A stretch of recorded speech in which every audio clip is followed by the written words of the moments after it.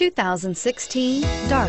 The Dodge Dart was introduced as a lower-priced, shorter wheelbase, full-size Dodge in 1960 and 1961, became a mid-size car for 1962, and finally was a compact from 1963 to 1976. Chrysler had previously applied the Dart name to a Ghia-built show car in 1956 and is priced below $25,000. This vehicle has less than 100 miles. Here are some of this vehicle's great options. Anti-lock braking system, traction control, Bluetooth wireless data link for hands-free phone, air conditioning, front, power steering, aluminum wheels, cruise control, floor mats, rear defrost, AM FM stereo radio. This isn't just a vehicle, it's an experience.